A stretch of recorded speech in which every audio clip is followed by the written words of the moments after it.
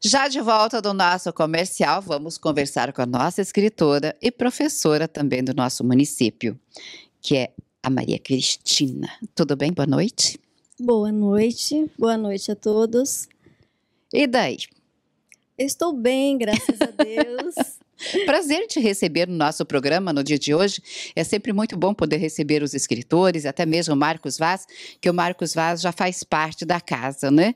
Já conversamos muitas vezes, porque ele é cartunista, como falei para vocês, ele é conhecido mundialmente, né? E ele tanto que ele trouxe um, um mimo para mim do Japão que eu tenho isso até hoje na minha sala de estar. Gosto muito. Aliás, muitas pessoas né, que viajam trazem um mimo para mim, é uma lembrança da onde vão. Você é professora, além de ser escritora, você é professora do município. É, bom, eu sou professora do município há 16 anos e agora que eu estou começando como escritora. Sério? Tá, está gostando? Nossa, está sendo um prazer muito grande começar junto com o Marcos, né? é, já foi um grande presente, porque é, o Moaraminha já é muito conhecido. É o seu primeiro, então? É o meu primeiro livro. Sério? Isso. Muito lindo. Então, foi através do convite do Marcos que eu tive a coragem de, de começar nessa carreira, né? De escritora sempre foi um desejo meu escrever. Até tenho algumas outras coisas escritas. Já agora com esse incentivo já estou praticamente com outro livro pronto para lançar. Hum, então está gostando mesmo, hein? É, então, é teu segundo já, é, então. Será o meu segundo livro uhum. que provavelmente vou lançar este ano ainda. E assim, é, como professora, eu sempre incentivei meus alunos a ler, a escrever nas produções literárias, né? E mas assim a gente sempre tinha aquele receio de se expor, né? E mas com o incentivo do Marcos eu falei assim, não, se eu incentivo os meus alunos a escrever, eu também posso, né, escrever e publicar. E com esse é, esse convite que o Marcos me fez. Aí eu falei assim, não, agora vou colocar isso em prática e, e estamos aí, né, lançando o nosso primeiro livro com essa parceria do nosso amigo aqui. Estou muito feliz. Você é professora do primário? Sim, eu trabalho com alunos de, do primeiro ao quinto ano e educação infantil. Claro que você deve incentivar bastante as crianças à leitura, né? Sim, com certeza. Trabalho sempre com os meus alunos projetos literários.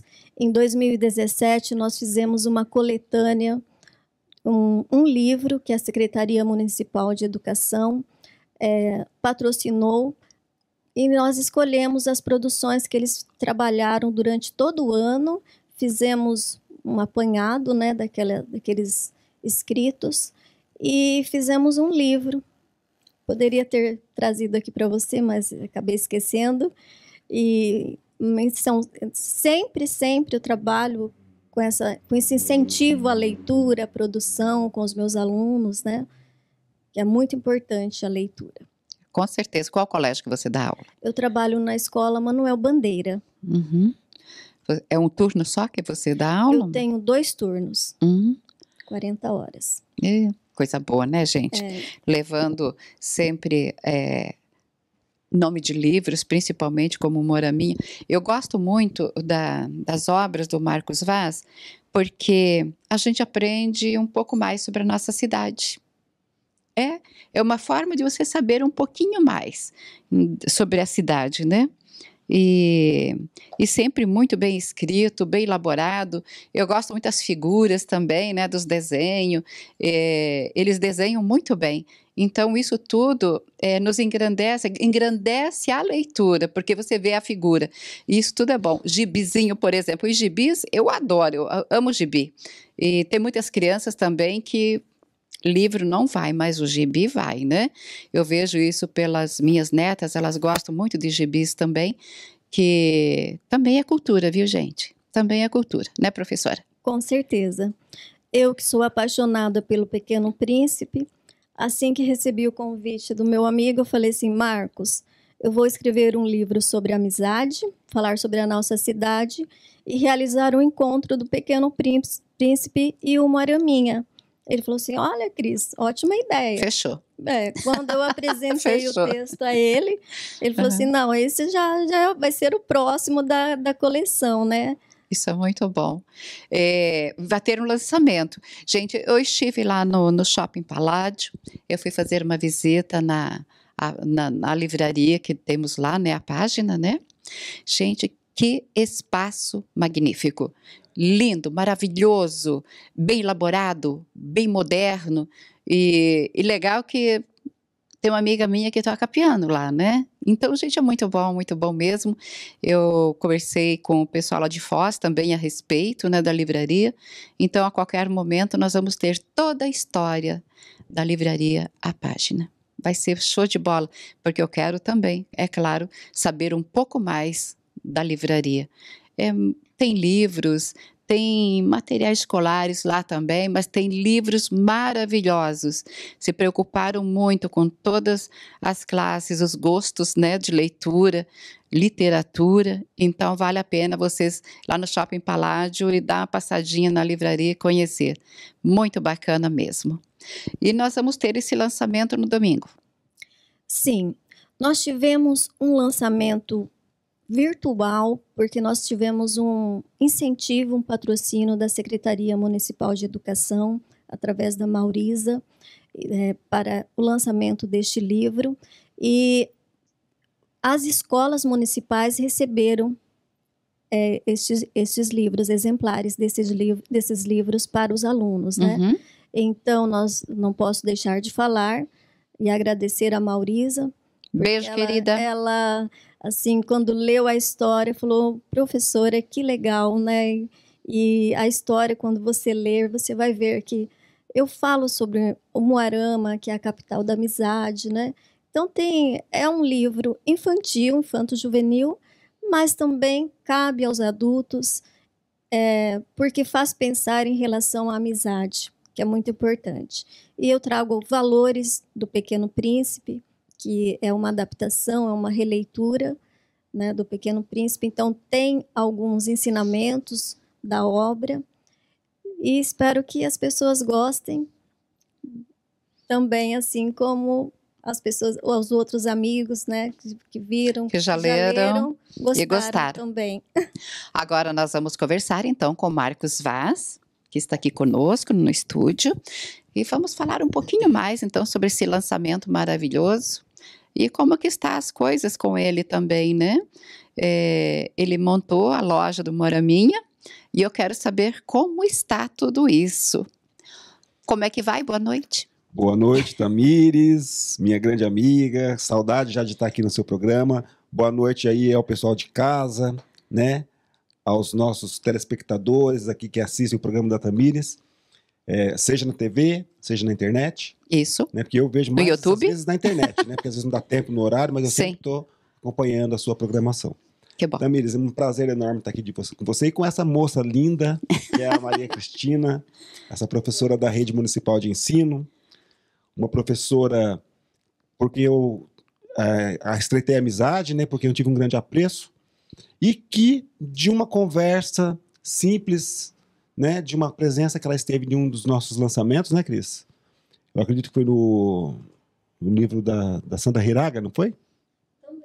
Você teve no da Santa Hiraga e depois você teve no o Moramando. Sim, o convite que você fez a mim, né, para participar do deste seu projeto Alma de Moarama e a Literatura, né, foi, a, foi quando eu Trabalhei com os meus alunos um projeto de literatura também, que foi o Pequenos Escritores, que também tivemos apoio da Secretaria Municipal, que na época era a Clori, que era a secretária. E eu fui fazer o convite a você para ir no lançamento, porque você sempre foi nosso parceiro, de ir na, na sala de aula com os alunos, né? ensiná-los a desenhar. Então, eu fiz o convite e você falou, então Maria Cristina, também quero fazer um convite a você de participar deste meu projeto. Foi aí que eu apresentei depois para você uh, a ideia do encontro do Moaraminha e o Pequeno Príncipe. Então, agora vamos continuar conversando com o Marcos, então. Marcos, é a primeira vez que você vai lançar na, na livraria a página ou não? Olha, você já faz parte. Eu estive lá, eu, eu sei que você já, já faz parte. Sim. Na verdade, assim, a, o shopping, né, é muito novo aqui em Moarama, muito recente, Sim. né, a livraria. Tenho outros projetos que eu vou lançar com a, com a livraria, assim como a Maria Cristina também tem. Mas na livraria é o primeiro lançamento. Essa série, né, a série A Alma de Moarama é literatura, ela surgiu já faz algum tempo, foi em 2015, né, portanto já se vão seis anos, através também de uma professora, né, a professora Irma Lovato, não sei se você lembra dela, que era do Colégio Dinamis. Claro que né, lembro. Agora é Elite Dinamis. Sim. E ela, assim, numa conversa comigo, numa conversa despretensiosa, numa conversa é, de dois amigos ali, amantes da literatura, e ela falou assim: Marcos, é, você sabia, você sabe da importância que o Moraminha tem para o Morama? Eu falei assim: olha, professor, acredito que sim, porque ele é símbolo oficial de Moarama, né? Sim. E já, já, já, já há 30 anos, né? Então já, já nós comemoramos agora, uh, no ano passado, o Jubileu de Pérola. Uhum. Aí ela disse: sim, mas o Moraminha ele tem uma importância gigantesca, porque ele é uma leitura da alma de Moarama. Ela falou. Ela falou assim: o Moraminha ele é um personagem criado, um índiozinho, né, para representar a capital da amizade. Sim. E ele é então um extrato, uma personificação da alma da cidade. Sendo ele um personagem de histórias em quadrinhos, ele é um personagem literário, porque as histórias em quadrinhos é um gênero da literatura. Né? Tanto que as histórias em quadrinhos agora, quando você falou que quadrinhos de bis é, também é arte, é arte, é claro. a arte, porque inclusive no prêmio Jabuti existe uma categoria para histórias em quadrinhos, uhum. que é um uhum. prêmio nacional de literatura. Então, o personagem Moraminha, sendo um personagem literário, logo a alma de Morama é literatura.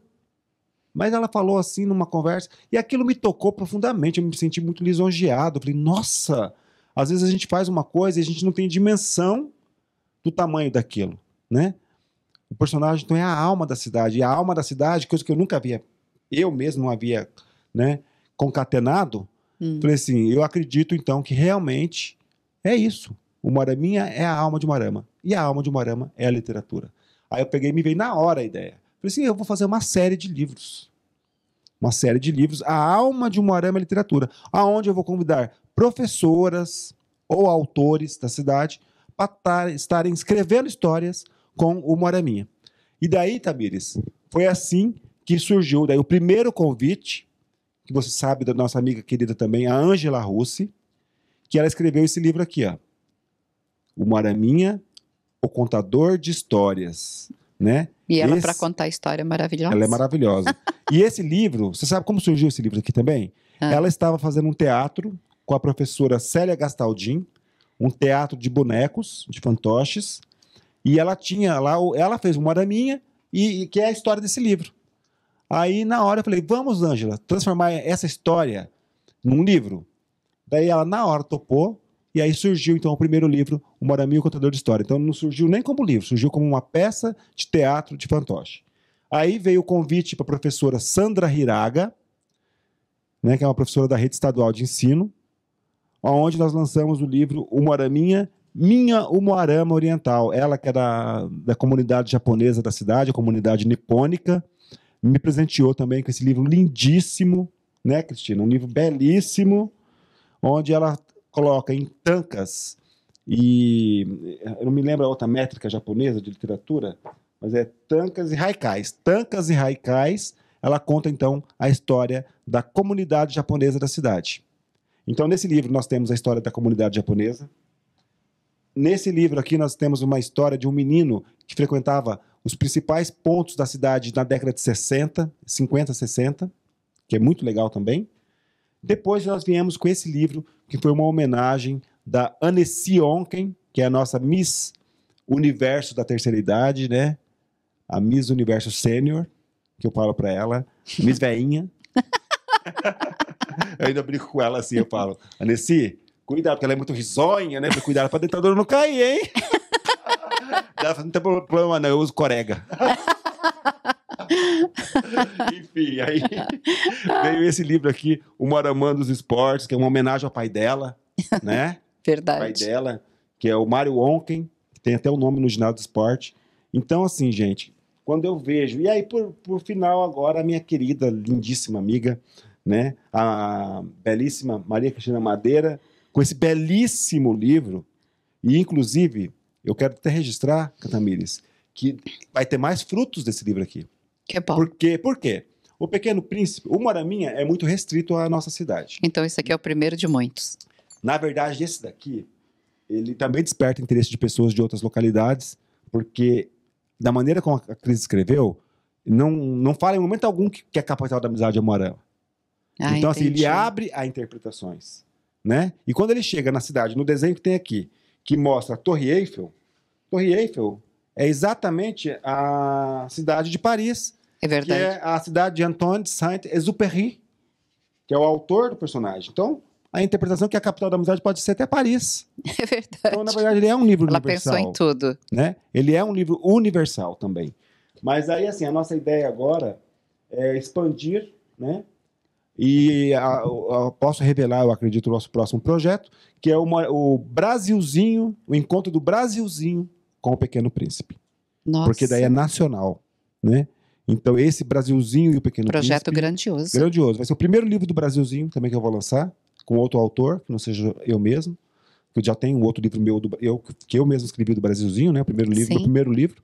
Sim. E agora vou ter esse livro com a Maria Cristina, o Encontro do Brasilzinho. Mas esse eu vou deixar para vir aqui de novo na Tamires. Está falando com vocês, fazendo o convite para o lançamento. Espero que seja na página também, uhum. né? Isso, com certeza será. É, e outra coisa, também quero voltar aqui no teu programa, Tamires, para falar do Almanac do Moraminha se a, se a Cris me permite falar rapidinho. Vamos falar então sobre o Almanac, o Moraminha. Isso também. Gente, que show, hein? Esse programa é cheio de novidades. Eu gosto também sempre de levar novidades para vocês, vocês que acompanham o programa diariamente. E daí, Marcos Vaz? Então, Conta. eu estou muito feliz, até porque ah. agora eu vou falar do Almanac. Toda vez que o Moraminha é de 5 5 anos, eu faço alguma publicação que marque o aniversário do Moraminha. Sim. Para que esteja sempre na memória, que esteja nas bibliotecas, nas escolas. Sim. E que não passe batido. E que não né? passe batido. Em razão da pandemia, se a Olimpíada 2020 está sendo realizada em 2021, o aniversário de 30 anos do Moraminha, que também foi em 2020, também está sendo celebrado em 2021. Esse livro aqui, ó, tem até atrás dele a logo, essa logozinha aqui, não vai dar para ver aí, mas é a logo dos 30 anos do Moraminha. Esse livro é uma, um livro publicado em homenagem, marcando os 30 anos do Moraminha, né? Esse jubileu de pérola.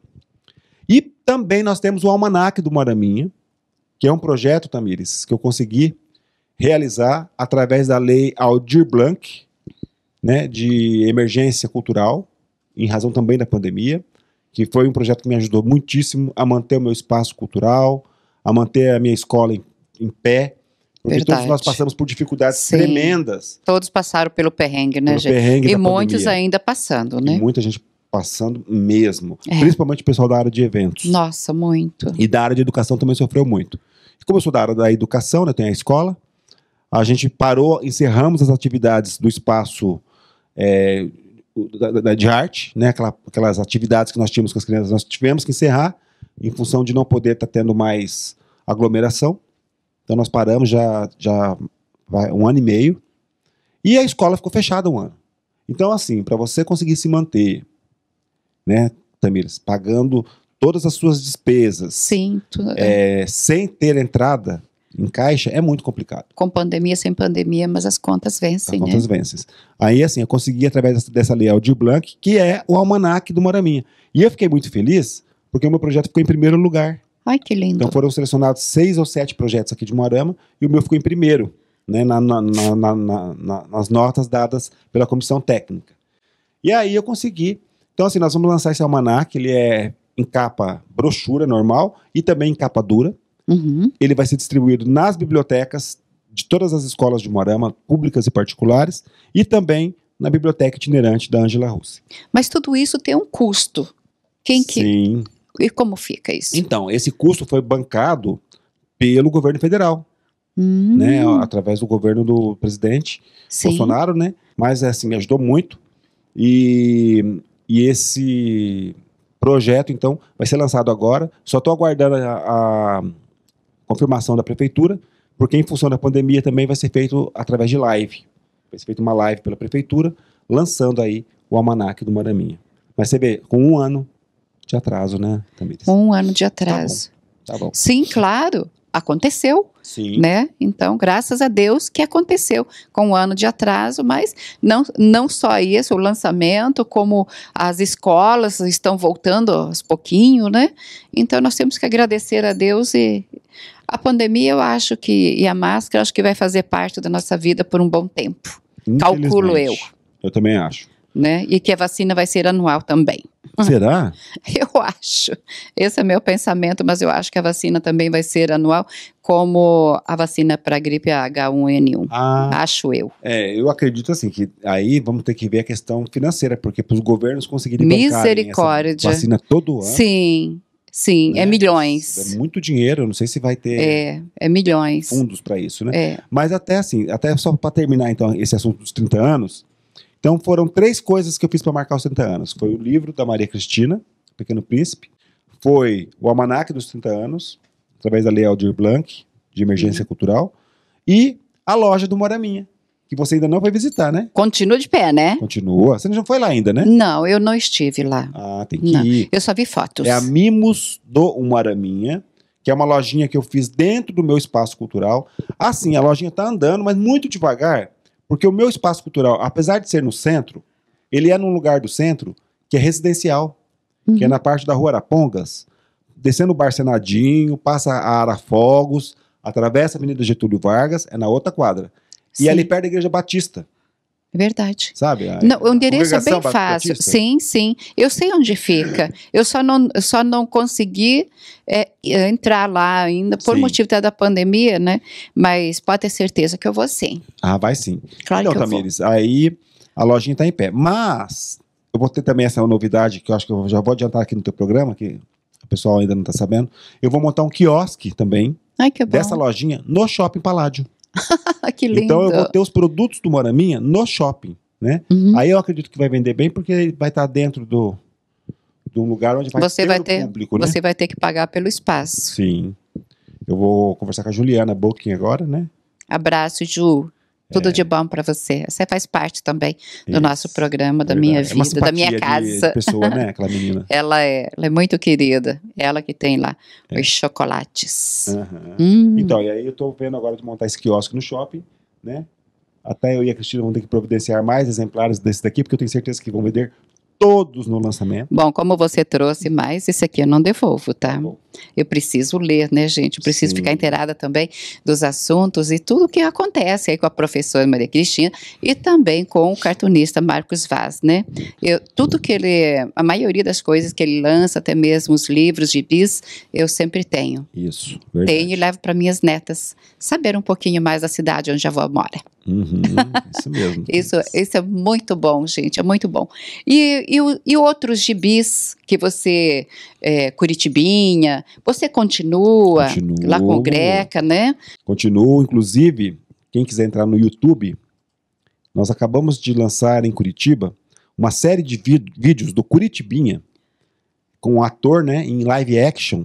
Live action é quando é o ator é que faz o personagem, não o personagem de desenho animado um rapaz inter interpretando o Curitibinha adolescente, onde ele apresenta a banda Lira Curitibana. Então, entra no YouTube, escreve Banda Lira, Lira com Y, Banda Lira Curitibana. E você vai encontrar esses vídeos do Curitibinha, onde ele ap apresenta a banda, como funciona a banda, como que é feita uma banda de música, como, o que é um saxofone, o que é um trombone, é muito, o que é o grave, o grave, o que é o agudo, né? Eu até estou fazendo essa brincadeira aqui, porque é o que o Curitibinha faz no vídeo. eu sei. E então nós lançamos essa série de vídeo. Uh, o último, se eu não me engano, saiu semana passada. Está sendo lançado assim, de cada 15 dias, um vídeo. Esse projeto já está em andamento. Nós temos outro projeto com o Curitibinha, que foram os gibis, né? Que também, Tamires, passou 2000, foram feitos em 2019, 2020, mas na hora de lançar no ano passado, em função da pandemia, também foi adiado para esse ano. Então, os gibis estão sendo lançados esse ano. É uma série de quatro gibis. Os gibis Curitibinha, alimentação segura e saudável, né? segurança nutricional, que é esse tema que está sendo trabalhado nas escolas. O gibi Curitibinha, segurança no trânsito, cidadania no trânsito, que é muito interessante também. Também. Curitibinha, é, proteção animal, que é o gibi que eu gostei mais, que eu tenho o maior xodó, porque é os cuidados que as crianças têm que ter, as crianças, carinho. As crianças vão adorar. Vão, pelos cães e gatos, e mostrando para a criança o que é animal silvestre, que, pode, que não pode ter em casa, e o que, é, o que pode ter em casa, e outra, as regras para as lojas que vendem e tratam dos animais de estimação. Uhum, é silvestre e domésticos, né? E o outro, que é um gibi mais importante que eu considero de todos, nesse, nesse grupo, que é o Curitibinha é, Amigo dos Rios que vem de uma campanha bilionária entre a Prefeitura de Curitiba e a Sanepar, mostrando para as pessoas que moram, as populações ribeirinhas, né, que vivem às beiras dos rios, a importância da mata ciliar, de não jogar lixo nos leitos dos rios e de separar o lixo reciclável. Ótimo. Recado dado. Agora já. Muito obrigada por ter vindo. Obrigado, eu, Tamires. Um beijo no seu coração. Um grande beijo a todas as pessoas que estão em casa assistindo o seu programa e o convite para que venham conhecer a loja do, do Maraminha, né, do Mimos do Maraminha na minha, no meu espaço, mas principalmente domingo aqui, ó. Horário? Eu e a Maria Cristina, convidando todos, né, Cris? Isso, convidamos todos para o lançamento na livraria A Página no Shopping Paládio, às 16 horas. Nossa, com essa voz sensual, quem que não vai querer ir? Então, então tá bom. Que Deus abençoe você, Cris, tá? Muito obrigada. É... Então, gente, o convite está feito aí para vocês, né? Maria Cristina já fez o convite, o Marcos Vaz também cartunista. Que Jesus abençoe grandemente e sucesso sempre. Obrigada por ter vindo. Eu que agradeço o convite. Obrigada, Marcos. Que Deus abençoe. Obrigado, eu. Eu vou para o comercial e volto já já na minha cozinha.